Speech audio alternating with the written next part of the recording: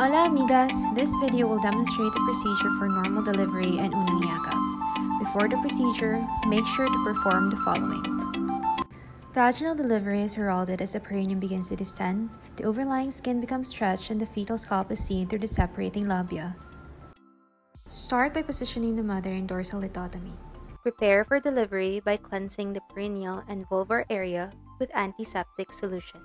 Sterile drapes may be placed in such a way that only the immediate area around the vulva is exposed. When the head distends the vulva and perineum, place a gloved hand to support the perineum while the other hand is used to guide and control the fetal head.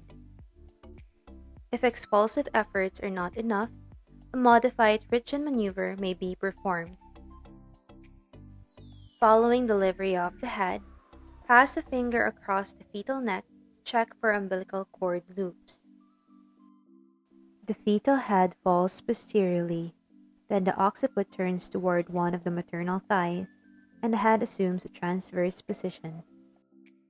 Grasp the side of the head with two hands, and gentle downward traction is applied until the anterior shoulder appears, followed by an upward motion to deliver the posterior shoulder.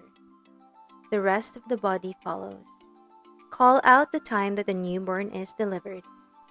Delivery of the newborn is followed by appropriately timed interventions following the essential intrapartum and newborn care practices, which include the following. Immediately and thoroughly dry the newborn to prevent hypothermia within the first 30 seconds by using a dry, clean cloth. Also do a quick check of the newborn's breathing while drying. After thorough drying, facilitate bonding between the mother and the newborn through skin to skin contact by placing the newborn prone on the mother's abdomen or chest. Cover the newborn's back with a blanket and the head with a bonnet. Next is proper cord clamping and cutting. Remove the first set of gloves immediately prior to cord clamping, and clamp and cut the cord after the cord pulsations have stopped. Cut between the two clamps placed 6 to 8 centimeters from the fetal abdomen and 2 to 3 centimeters from the umbilical base. After cutting the cord, ensure that oxytocin is given to the mother to prevent uterine atony. Leave the newborn on the mother's chest to facilitate early initiation of breastfeeding. Advise the mother to start feeding once the following feeding cues are observed. Check the uterine fundal size and consistency.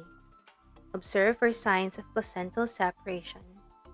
Ensure the uterus is contracted and exert pressure on the fundus to propel the detached placenta into the vagina, while the heel of the hand exerts downward pressure between the symphysis pubis and the uterine fundus. Keep the umbilical cord slightly taut but is not pulled to prevent uterine inversion. Once the placenta passes through, the pressure on the uterus is relieved and the placenta is gently lifted away to prevent placental membranes from tearing. Inspect perineum for lacerations and repair accordingly.